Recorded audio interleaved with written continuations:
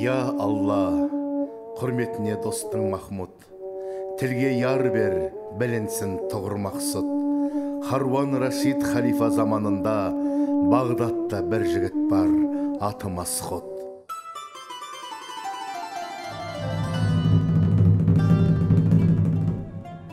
шаһардан бір күн масғұт шықты тысқа. Барды ма кез келіп бір жұмысқа бір ұры бастап тонап жатқан жерде кез болды бір бейшара шалбай құсқа шалбай құс айғайлайды аттан салып айырып алған жан жоқ оны барып. Кімде болса бір ерлік қылайын деп масғұт ұшты ұрыға оңдайланып. Масғұтты ұры шапты қылышпенен тәуір жан сақтапты жұмыспенен есен аман шалдағы құтылыпты масғұттан жау қашқан соң ұрыспенен. Масғұтқа келді әлгі шал көзін тіктеп. Көрсе бастан ағып тұр қан дірдектеп мұның қарызын мен де өтеп кетейінші. Жігіт қой ер көкірек жау жүрек деп. Ей жігіт не қылсаң да ер екенсің. Көргейсің ерлігіңнің берекесін. Себеп боп мен ажалдан сен айырдың. Маған қылған қарзыңды ал өтесін бай емен батыр емен хан емеспін. Атақты артық туған жан емеспін. Себеп болып айырдың мен ажалдан. Жақсылықты білмейтін шал емеспін. Пұл үшін қызықпассың сен де бірер.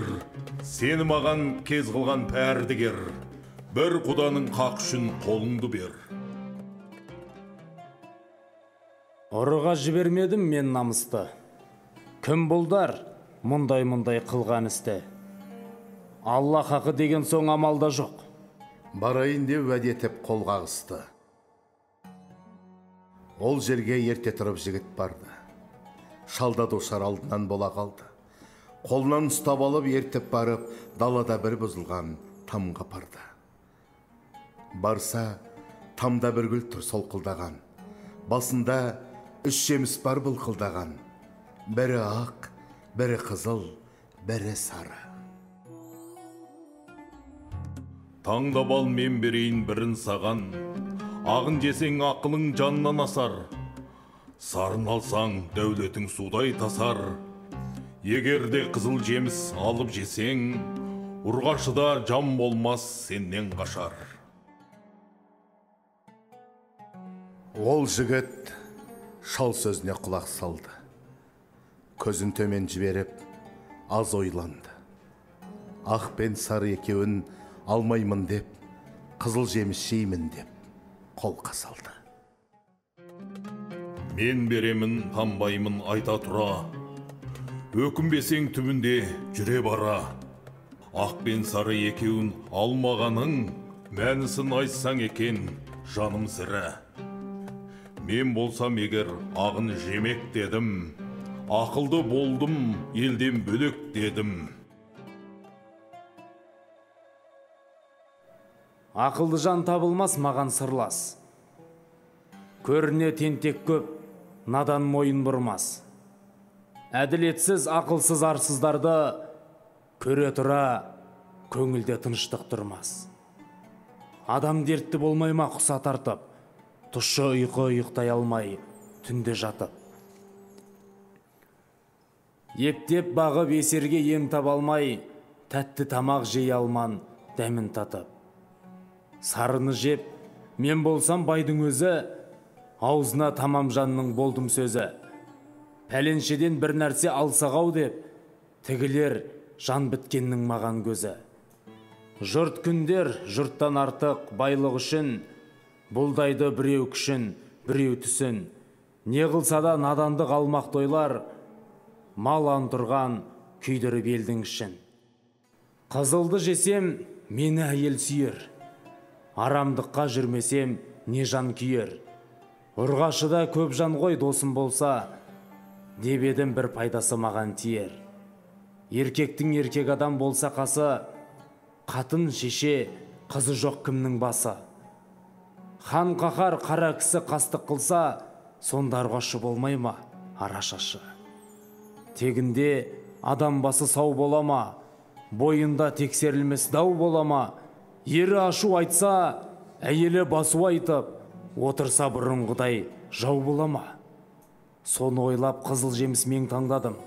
Берсеңіз жемек болып бел байладым. Топа торсақ бұл сөзді айтқаным жоқ. Басында ойлап тегін абайладым. Ендеше таубайттың жешірағым ақыл дәулет әуелден өзіңде екен өміріңмен артылсын жаным бағың. Бұл шал бөтен шал емес қыдыр еді. Ебін тауып даруға кезі келді.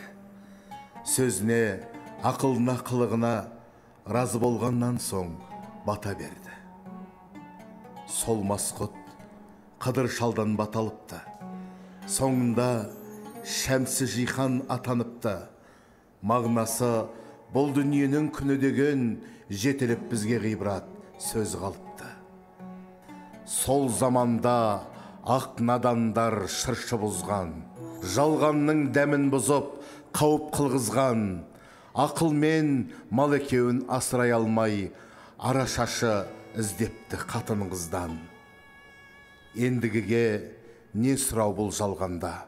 Ақыл ой ар намыс жоқ еш адамда.